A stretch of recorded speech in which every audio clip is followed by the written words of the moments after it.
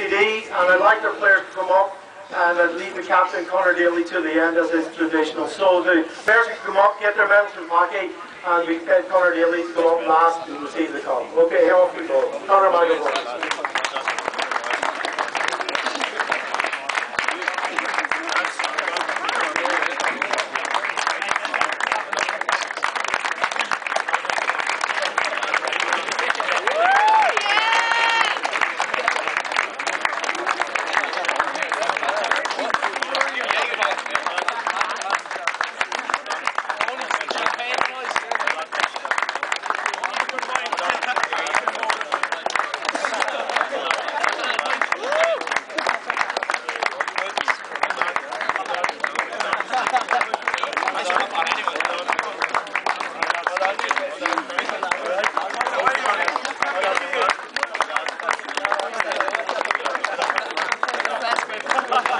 Just, um, just, just before Conor actually, just before Patty gives Conor the, just before Patty gives Conor the cup, he'd like to say a few words.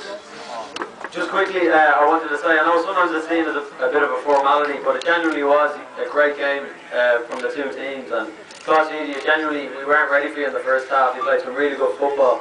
And you've had, that's three great games now we've had against you this season. So seriously, another just one more round of applause for Ide because it was genuinely. Just quickly, I'd like to thank the, staff here. Uh, always great, great to play in this pitch. We played in it last season in immaculate condition, and the officials, myself and Fran, have a bit of a love-hate relationship. With a bit more hate tonight, but it's on and off. Um, the management of, of our own team, uh, Darren McNally was there all the time. Paul Summers has come up tonight. Just uh, his his girlfriend's at home with a newborn baby, only a few days out, so he's still out here. I'm showing the commitment from the club and.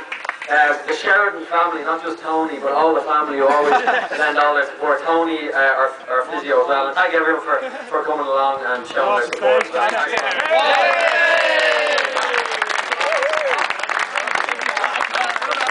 And the 2008 champions, College and University, Homework College and University champions, UCD.